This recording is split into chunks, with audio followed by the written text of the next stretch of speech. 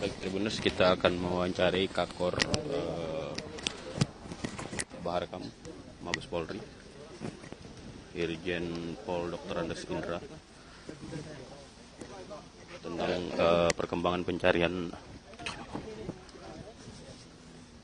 pencarian eh, helikopter.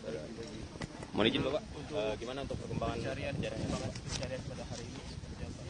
Ya, kita tim gabungan SAR, Polri, TNI, Dishub, dan Basarnas, BNPB hari ini eh, mulai jam 7 tadi pagi sudah mulai melakukan pencarian kembali, melanjutkan pencarian kemarin. Eh, kegiatan hari ini kita melibatkan dua helikopter dari Mabes, 8 kapal. Yang kategori kapal ini kita ada kapal dari uh, Polairut, kapal dari KPLP, kapal dari Disub dan satu kapal juga dari masyarakat. Uh, saat, ada juga KRI yang Teluk Cirebon yang hari ini ikut bergabung datang uh, bersama-sama melakukan pencarian.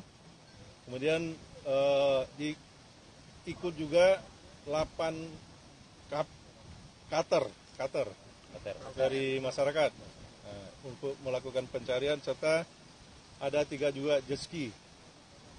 Kegiatan dilaksanakan tadi sampai jam 15.00 eh, dengan hasil hari ini kita menemukan jenazah satu jenazah korban atas nama Khairul Anam.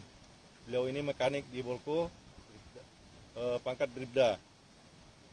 Kemudian yang penting juga kita temukan hari ini kita menemukan ELT Emergency Location Transmitter. Eh, dalam keadaan tidak berfungsi. Kemudian banyak bagian pesawat yang kita temukan. Lebih kurang ada 21 item yang hari ini kita temukan. Dan eh, ada barang-barang dari awak pesawat juga yang kita temukan seperti ransel yang e, mengapung juga tadi ada dua buah ransel. Itu sementara hari ini yang kita temukan. Kegiatan akan kita lanjutkan lagi besok pagi jam 7 e, dengan melibatkan lagi kapal kapal yang seperti yang saya sebutkan tadi ditambah insya Allah nanti malam juga akan datang kapal dari e, TNI AL yang mempunyai kemampuan untuk alat sonar untuk mendeteksi keberadaan uh, benda-benda di bawah laut, khususnya yang berupa logam. Pak, gitu, mohon izin Pak, uh, untuk uh, area berapa mil Pak dari pesisir pantai ini, benda-benda uh, yang ditemukan tadi Pak? Berkisar antara 3 mil. Itu dengan kedalaman, dengan kedalaman berapa Pak? Semua ngapung. Mengapung Pak? Di atas Pak, untuk uh, besok apakah menggunakan uh, penyelaman untuk pencarian atau ada teknik yang uh, lain seperti ini? Penyelaman ini kita lakukan setelah ada petunjuk uh, keberadaan dari uh, helikopter yang kita cari. Uh, paling tidak sudah terdeteksi dulu kemungkinan adanya di mana. Uh, kalau dalam kondisi belum ada petunjuk tersebut, uh, penyelam kita belum diterjunkan. Bisa diterjunkan tapi per, uh, sangat sangat uh, kecil kemungkinan untuk bisa.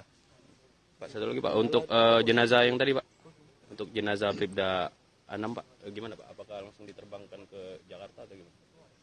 Jenazah sementara masih kita uh, rawat di rumah sakit umum daerah uh, Belitung Timur di rumah sakit masih disimpan dulu nanti menunggu setelah ada kita temukan yang berikutnya baru kita sama-sama berangkatkan nanti sampai batas waktu tertentu nanti. Izin jenderal untuk uh, titik koordinasi helikopter terjatuh belum terdeteksi sampai saat ini. Secara pasti sampai sekarang belum.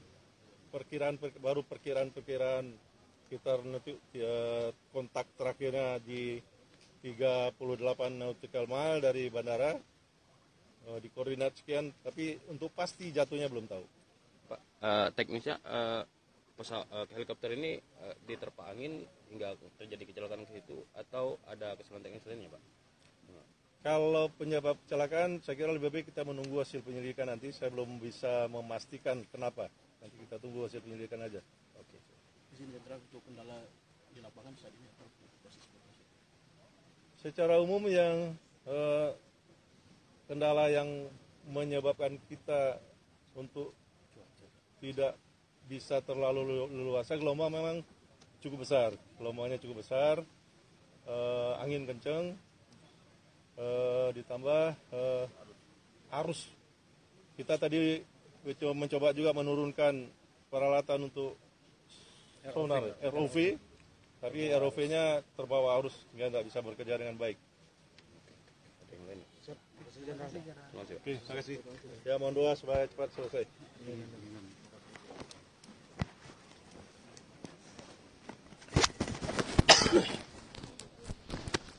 Baik, ya, Tribuners dan sahabat Pos Belitung, itu tadi penjelasan dari eh, eh, Irjen Pol Dr. Andes Indra yang saat ini sedang memimpin tim pencarian di pesisir eh, de- Burung Mandi ataupun desa Burung Mandi, Kecamatan Damar, Kabupaten eh, Belitung Timur. Baik sekian eh, Tribuners eh, dan sahabat Pos Belitung, report saya pada sore hari ini untuk update pencarian helikopter NW 105 register P 110. Terima kasih. Jangan lupa untuk subscribe, like, dan komen channel ini.